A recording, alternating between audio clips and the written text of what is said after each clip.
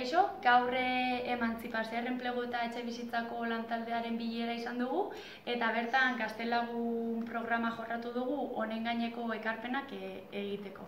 Bera Roberto da, kale dorkaigoko kidea, eta bera Irene, soziologiako ikaslea. Esperamos que los puntos a los que hemos llegado todos eh, se acepten para poder ayudar a las personas que necesitan un recurso como este y nada, esperamos que todo salga bien. Nosotros salimos contentos de esta reunión.